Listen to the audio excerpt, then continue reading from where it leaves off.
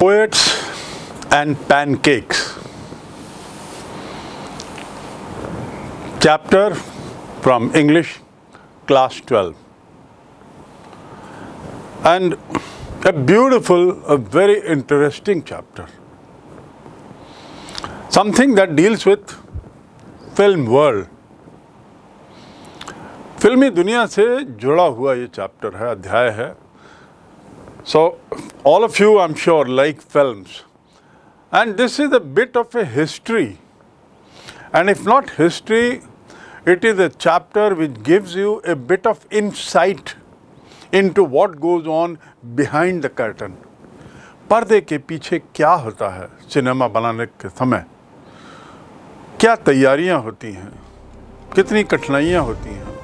कितना समय परिश्रम देना पड़ता है? और जब पूरी फ़िल्म बन के आती है तो कितनी बड़ी टीम और कितनी बड़ी तादाद में लोगों का श्रम उसमें झोंका गया रहता है। Unimaginable but this particular chapter deals about just one aspect of in one aspect of development behind the curtain पर्दे के पीछे के केवल एक पक्ष को ले रहा है, यह लेख। The title of the poem is poets and pancakes poets मतलब कवि पोएम से poet but what is pancake आपने सुना होगा, कुछ लोग जानते होंगे। पैनकेक एक तरीके का केक है। और यदि हम देखें तो पैनकेक जो मालपुआ होता है, हमारे छत्तीसगढ़ का खास डिश है मालपुआ। उसे अंग्रेज़ी में पैन केक कहते हैं। बहुत तरीके के पैन केक बनते हैं बहुत साइज़ के बहुत आ, आ, आकार के बहुत से अलग अलग कंटेंट्स के। तो pancake is something like a cake malpua it looks like pizza also it looks like burger also so here is a story titled poets and pancakes. Now the question comes what has film to do with poets and pancakes? Well this is what is most interesting about this chapter. That how the poets are involved and how pancake is involved in this story you would know very shortly. Before I proceed and tell you and disclose what exactly is pancake here in this story about films, let me tell you about the writer, the author. The author is uh, Ashoka Mitran. Ashoka Mitran, 1931 born, a Tamilian that means from Tamil Nadu. Telugu is from Andhra Pradesh. Malayalam is from Kerala. Kannada is from Karnataka, for your information. So he is a Tamil writer. He is a Tamil person, Tamil writer, belonging to Tamil Nadu. In this story, he himself is the writer and he himself is a part of the story. अपने स्वयं की जीवनी पर उसने लिखा है। He recounts his years in one of the studios Madras के एक प्रसिद्ध फ़िल्म स्टूडियो में अपने बिताए हुए दिनों को वह याद करता है। और उन दिनों को लेकर उसने एक पुस्तक लिखी है, बहुत बढ़िया, जिसमें लिखा है, जिसका शीर्षक है my years with boss boss के साथ गुजारे गए मेरे वर्ष। ये उसकी स्वयं की एक तरीके से आत्मकथा है। उस काल की जो उसने उस स्टूडियो में गुजारे थे। इसमें, इस पुस्तक में he talks about how movies have influenced our life in India how movies have played very important role in giving shape to our culture also. How our culture has been affected by movies cinema ने कैसे हमारी संस्कृति, हमारी जीवन शैली, हमारी सोच को प्रभावित किया है?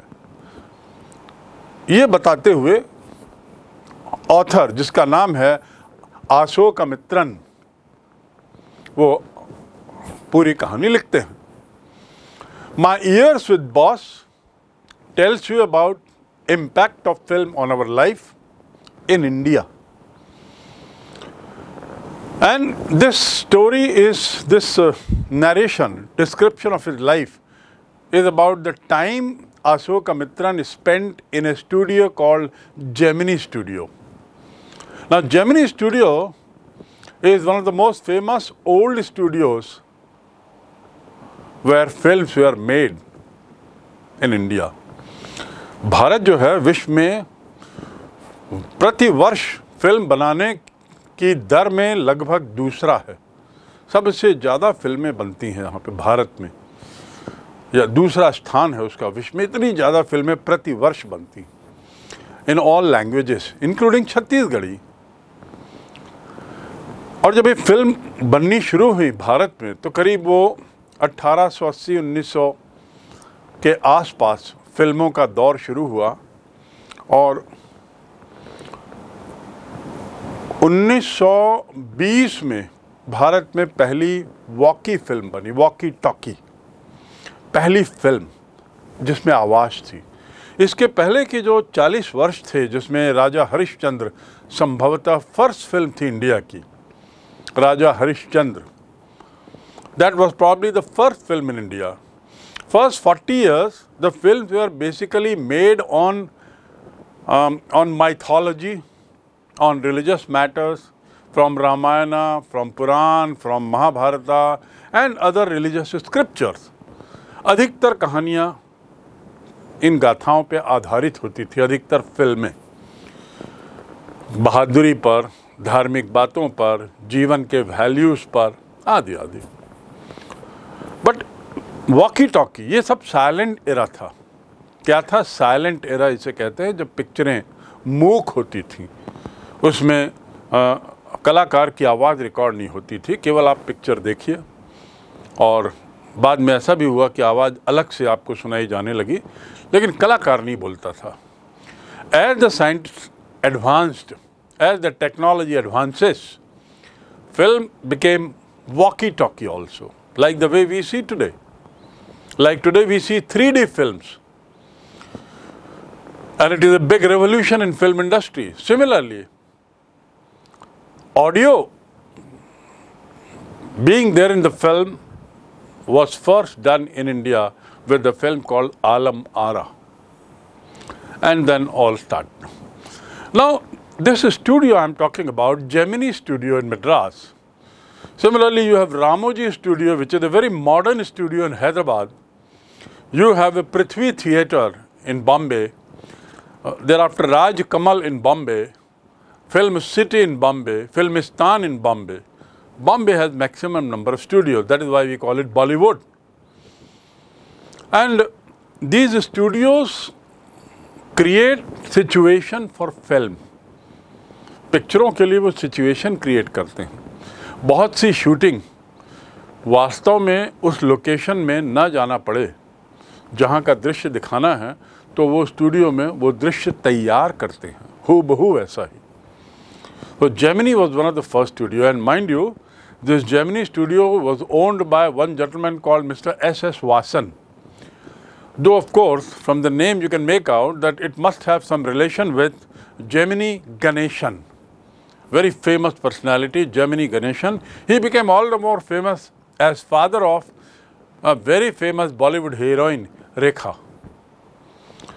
So Gemini studio में ये लेखक काम करते थे। He was working in Gemini studio which was located in Madras now called Chennai and this studio was set up in nineteen forty that means after the silent era almost comes to an an then and normal film started coming he join this writer join Gemini studio It was out of one of those most influential film producing organizations that produce many films.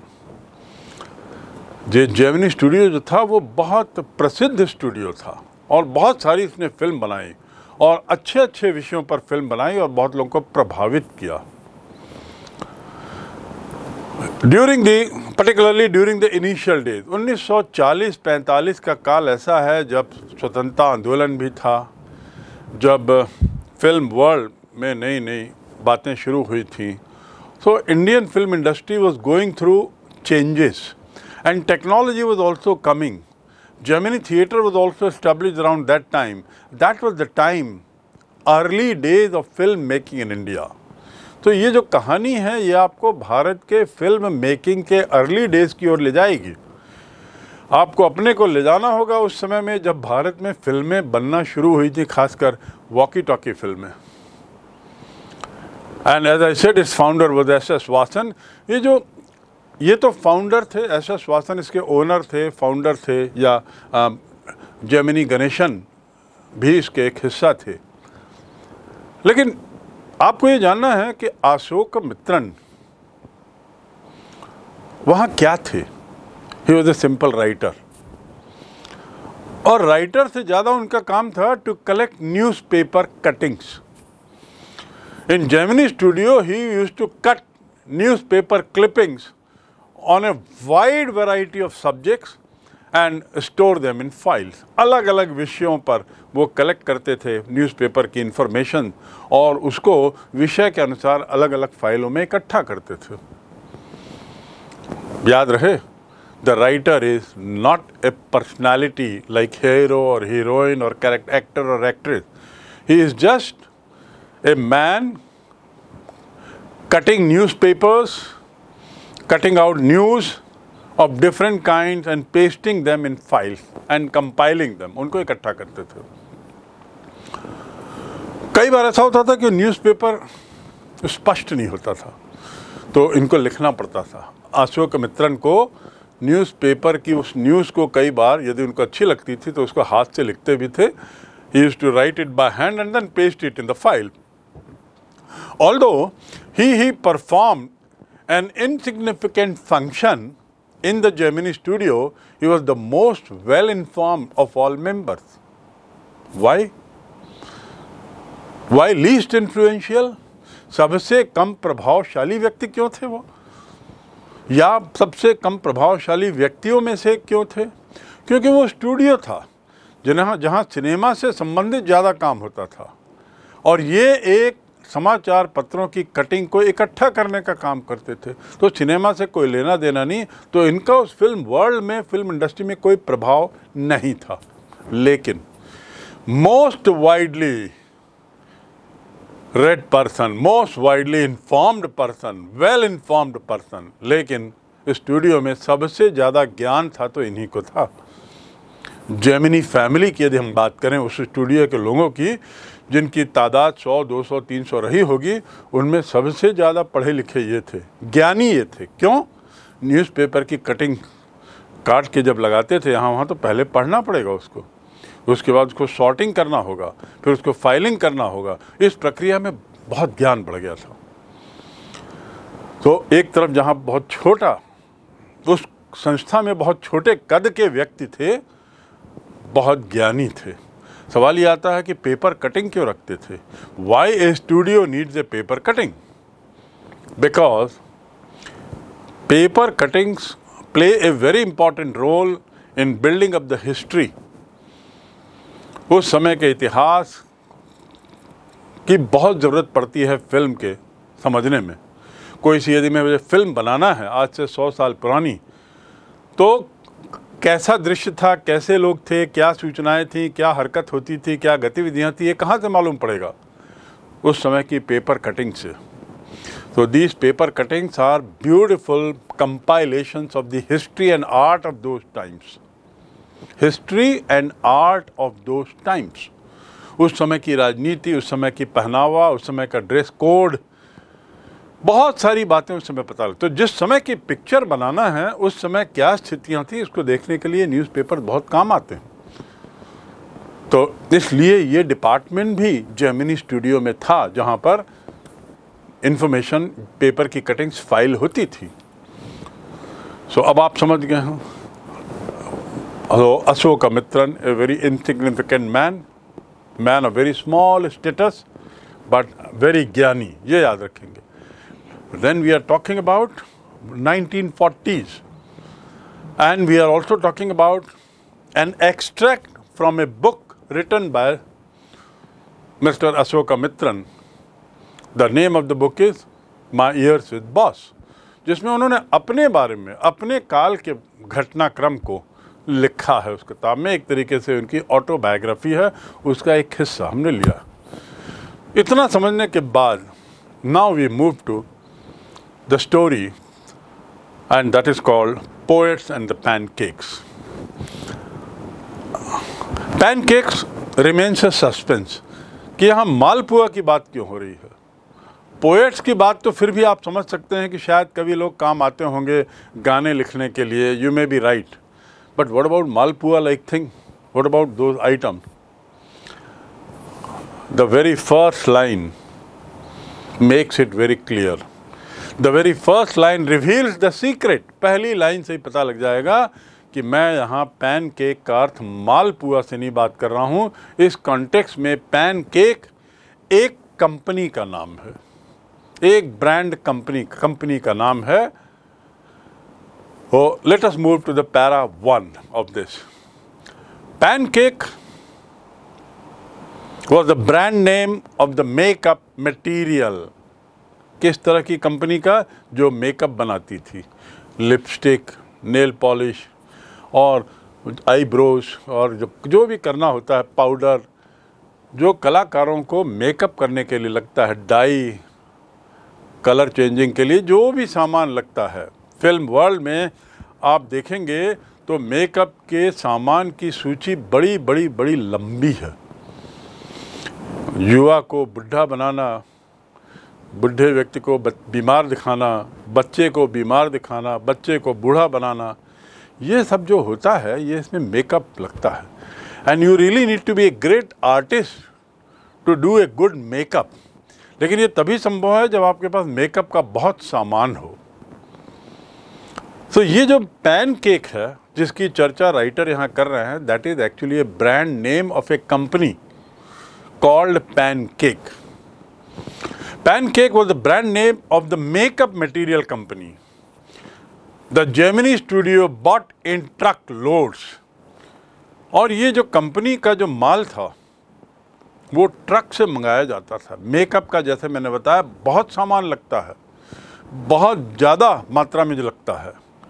तो ये truck में सामान आता था इस brand का Gemini studio में Gemini studio bought in truck load bought by से बना ट्रक लोड मतलब ट्रक में भर के आता था Greta Garbo must have used it Miss Gauhar must have used it. Vajayanti Mala also must have used it. But Rati Agnihotri may not have even heard of it. चार लोगों के नाम हैं इसमें। Four character Greta Garbo Greta Garbo is basically a Swedish American actress नाम बहुत प्रसिद्ध है। और दुनिया के पाँच यदि बेस्ट एक्ट्रेसेस की बात करें तो निश्चित रूप से किसी भी काल के फाइव बेस्ट एक्ट्रेसेस में she will be one of the best actresses the world had world and Swedish American and she basically work during silent era जब पिक्चरों में आवाज़ कम होती थी, उस समय की मेन कैरेक्टर है मेन हीरोइन है। हीरोइन थी फ़िल्मों में। एक्ट्रेस थी। और जो उसकी फ़िल्म थी, वो, जो उसकी एक्टिंग थी, वो ज़्यादातर उदासी की थी, ज़्यादातर जीवन के तकलीफ़ों से भरी हुई थी सीरियसनेस थी उसकी फ़िल्मों में, और आदि आदि। But rated to be among the top five best actresses that the world had उसने यूज़ किया होगा, ऐसा लेखक का कहना है। अशोका मित्रन कहते हैं कि Miss Greta Garbo must have used it मतलब मैं इतनी बड़ी कंपनी का लाता था। हमारी कंपनी जर्मनी में जो मेकअप आता था, वो इतनी शानदार ब्रांड कंपनी का आता था कि ग्रेटा गार्बो ने उसको यूज़ किया होगा। इतनी बढ़िया कंपनी का आता था कि मिस गौहर ने यूज़ किया होगा। अब ये गौहर कौन है? The famous singer called Gauhar Jaan Gauhar Jaan उस काल की बहुत प्रसिद्ध सिंगर थी 1930 उनतीस, पच्चीस, तीस की।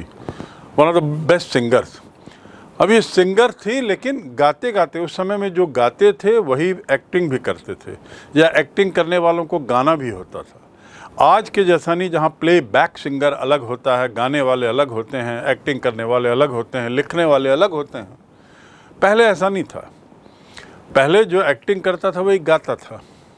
आप you see the old film the singer the actor himself the actress herself are singers जो सम गाते हैं उनकी अपनी आवाज़ में। इसलिए उस ज़माने के एक्टर, एक्ट्रेसेस को थोड़ा गाना भी आना चाहिए था। आज तो प्ले बैक सिंगर हो गया। So Gauhar was a singer basically Vyjayanthimala you all know a very famous actress a very famous actress of 40 50 years back Vyjayanthimala Sangam Amrapali Nagin, Madhumati, some of the most famous films and award winning films. Greta Garbo also won Academy Awards, remember. World academy award मिलना बहुत ही बड़ी बात है and Greta Garbo won it three times Vyjayanthimala was also extremely talented actress of her times. Miss Gohar, as I said, is singer actress. What about Rati Agnihotri? Rati Agnihotri is a modern time heroine 20 साल पहले की वो actress रही हैं। आपने उनकी film देखी होगी। रति अग्निहोत्री की famous film Ek Duje Ke Liye. You remember that film I am sure Ek Duje Ke Liye. But coming back to this lesson the author says truck loads of pancake brand makeup material use to come to our Gemini छोटी मोटी मात्रा में नहीं truck load और वो भी कौन सी company pan cake pan cake कितनी बड़ी कंपनी जिसको ग्रेटा गार्बो यूज़ करती थी, वैजंती माला यूज़ करती थी, गौरव जा, गौहर जान यूज़ करती थी। हाँ शायद रति अग्निहोत्री नहीं करती थी, क्योंकि रति अग्निहोत्री के समय में और भी नई कंपनी आ गई, और शायद रति अग्निहोत्री उसका नाम भी नहीं सुना होगा। Rati Rati Agnihotri may not have even heard of this name the makeup department was located there in the Germany studio and it was located on the up stairs देखिए अपस्टेयर्स की स्पेलिंग यानी ऊपर। Stair माने सीढ़ी। कैसी सीढ़ी?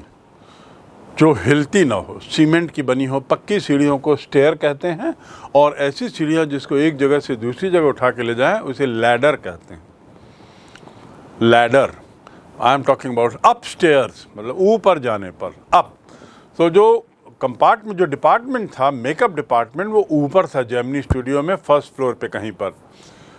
Upstairs and it was believe to have been Robert Clive stable और ऐसा माना जाता है कि वो जो बिल्डिंग थी, वो रॉबर्ट क्लाइव का घुड़साल था।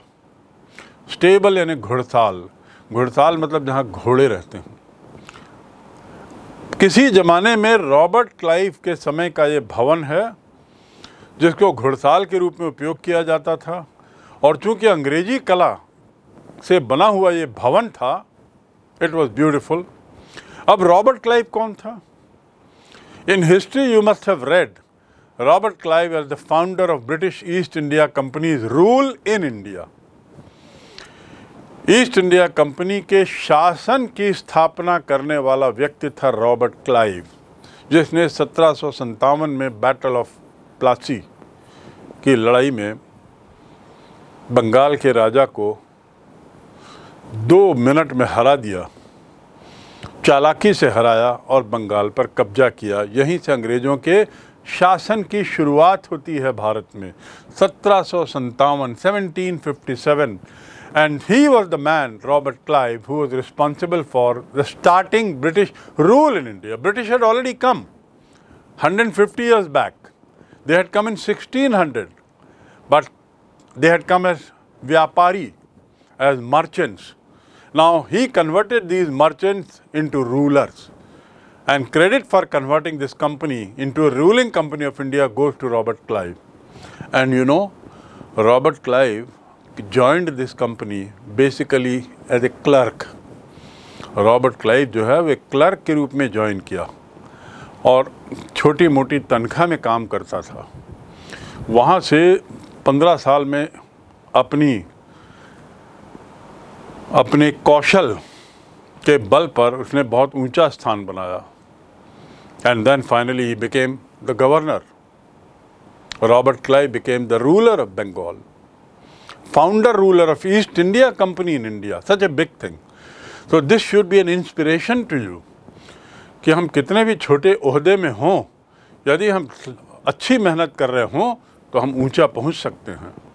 So Robert Clive has the credit of being the founder. It was his building where Gemini Studio was located. And in this building, what was there? The stable, Ghurtal tha. Robert Clive had many other such buildings in Chennai.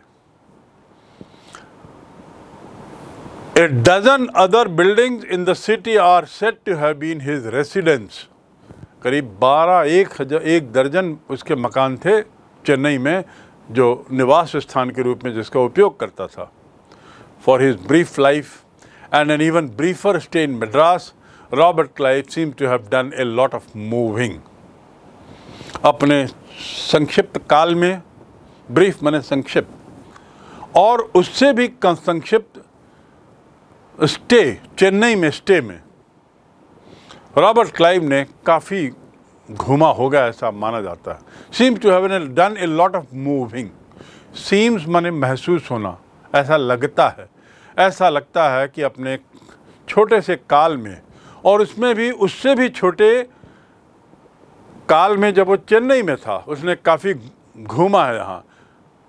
और besides fighting some impossible battles in remote corners of India इस घूमने के अलावा besides मतलब के अलावा besides और beside मतलब बाय द साइड ऑफ़ के बाजू में यू सिट बिसाइड मी तुम मेरे बाजू में बैठो besides you Shyam will also go Shyam के अलावा तुम्हारे अलावा शाम भी जाएगा So I think you understood the difference between beside and beside. So the author says कि beside moving about, staying in different houses that he had, he also did quite wonderful things, fought some of the most impossible battles.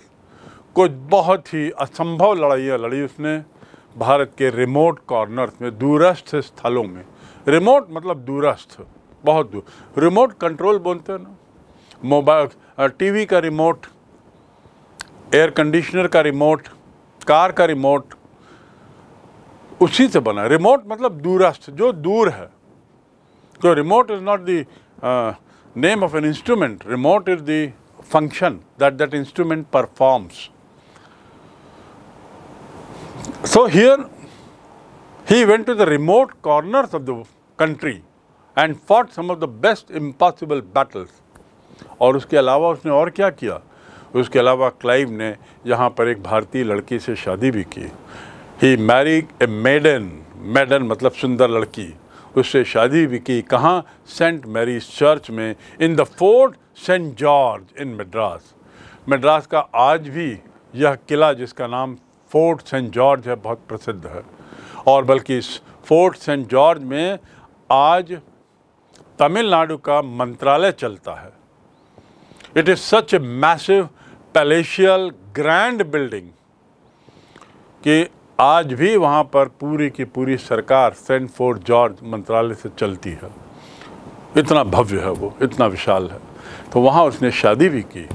तो इस प्रकार Clive के तो now we have learn about Gemini we have learn about pen pancake we have also learn about Clive after knowing the location of the studio, after knowing that the studio had makeup room on the upstairs, after knowing that the building was uh, in fact a stable of Robert Clive, must have been grand building, after knowing that it was basically the writer is basically talking about makeup room where makeup material was of the best quality in the world let us come to learn something more about makeup room अब हम थोड़ा makeup room की ओर चलें the makeup room Had the look of a hair cutting saloon जो makeup room था hair cutting saloon जैसा barber की दुकान जैसा था। लेकिन हाँ अच्छे बारबर की दुकान, जो आजकल होती है ना हेयर कटिंग सैलून बड़ी बड़ी with lights at all angles around half a dozen large mirrors बहुत चमचमाती लाइट थी। और सभी एंगल में थी वो लाइट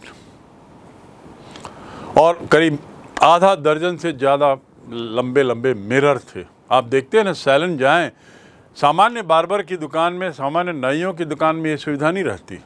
लेकिन यदि सैलन जाएँ तो वहाँ पर आप देखेंगे मिरर्स रहते हैं, बड़ी तेज़ तर्रा लाइट रहती है एयर कंडीशनर रहता है, और मिरर का अलग अलग तरीके से लगाया जाता है, ताकि आप अच्छी तरह से अपने को जो काम करवाने के लिए हैं, वो देख सकें।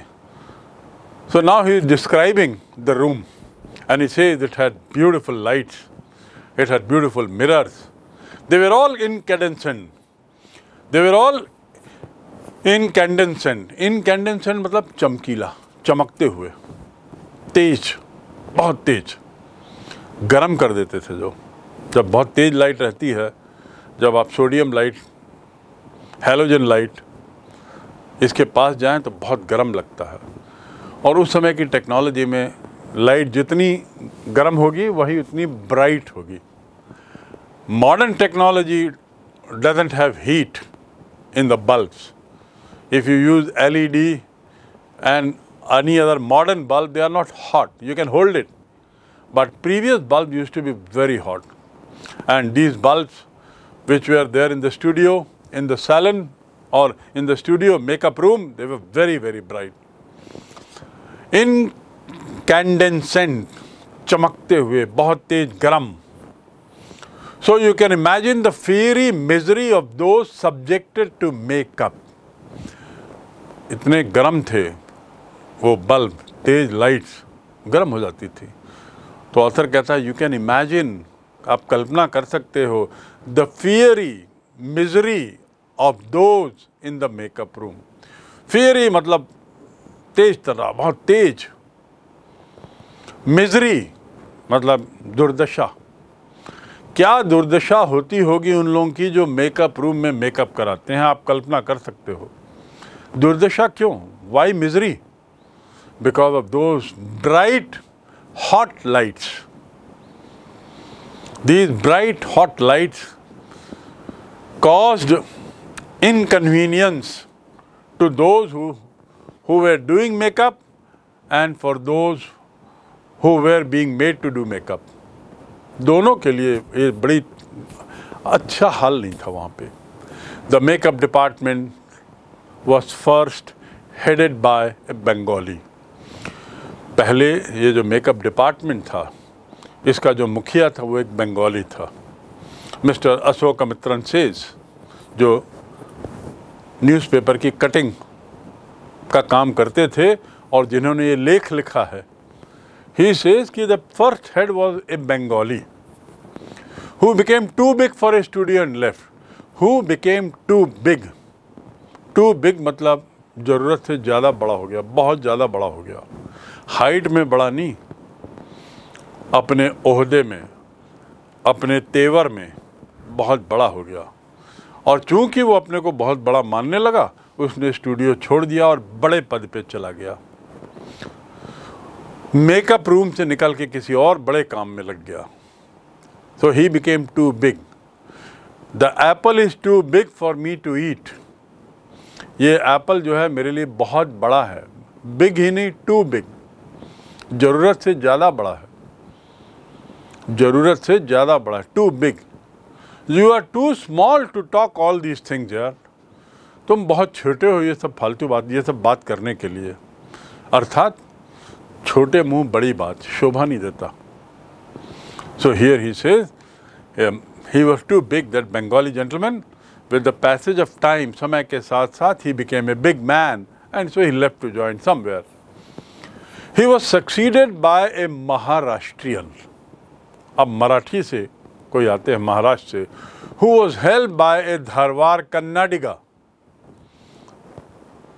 an Andhra a Madras Indian Christian and Anglo Burmese and as usual local Tamils who was assisted by मतलब महाराष्ट्रियन आए बंगाली के बाद, और उनकी मदद करने के लिए कौन कौन थे?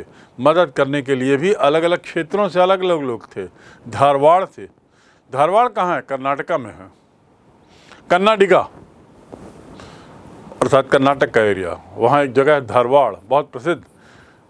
एक आंध्राइट भी था। एक क्रिश्चियन भी था जो मद्रास का था। इंडियन था। और इसके अलावा एक एंग्लो बर्मीज भी था।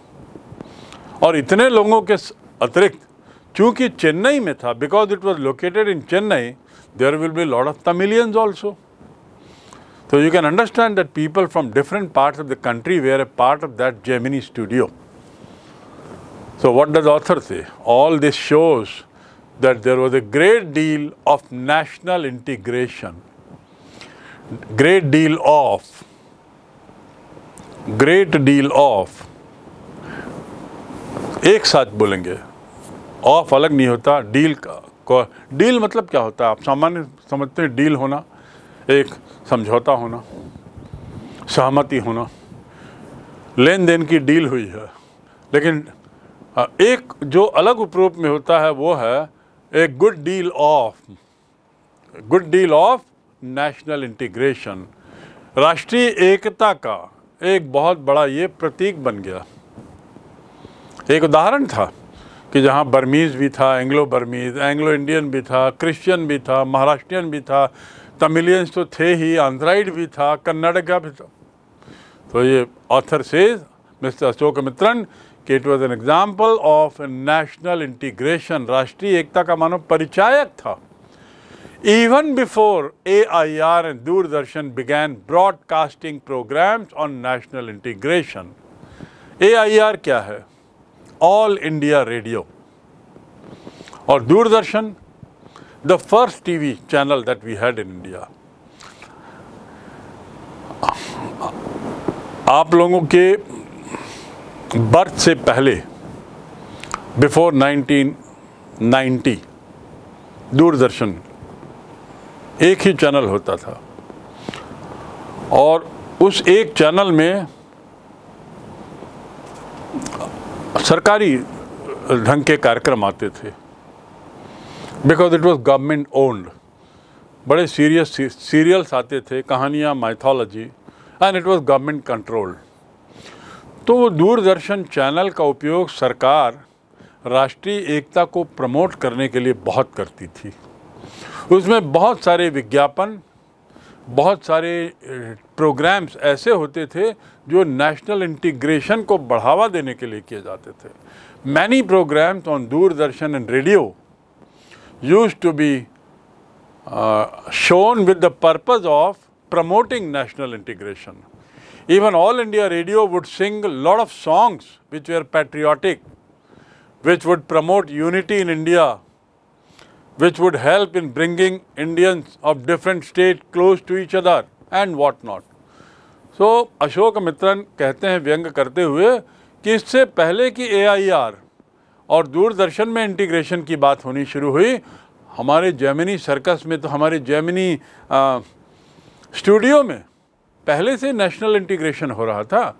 सब अलग अलग जगह के लोग थे। और A I R means all India radio to broadcast मतलब प्रचार करना। और टू ब्रॉडकास्ट मतलब प्रचार करना। रेडियो के ब्रॉडकास्टिंग एजेंसी मतलब प्रचार करने वाली कंपनी चाहे रेडियो के माध्यम से, चाहे टीवी के माध्यम से। ब्रॉडकास्ट याद रखेंगे।